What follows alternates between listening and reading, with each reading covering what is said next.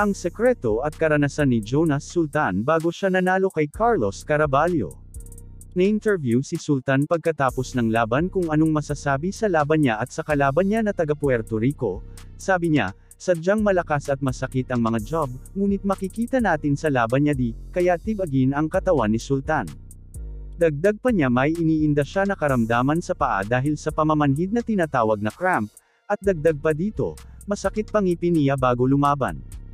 Ganun pa man ang karanasan ni Jonas Sultan ay napakahirap lalo na sa training at magpa-condition sa kanyang katawan. Kaya malaki ang pasasalamat niya sa kanya coach at sa grupo lalo kay Jerwin ang kahas na naging sparring partner niya sa laban at hanggang sa loob ng luna kasama si Jerwin at ang coach na nagpapatnubay. Kung matatandaan matagal na sila magkasama ni Jerwin and Kahas sa iisang hotel or bahay.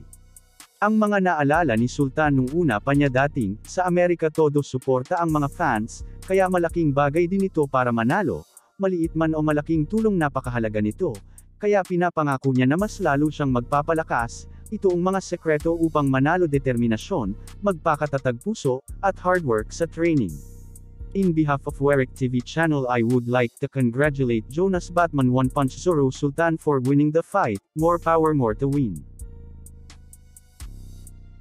Dami pang gustong sabihin Hi guys, I am Zai, and this is Warwick TV. Bago lang po kayo sa channel ko, huwag mahiyang mag-subscribe.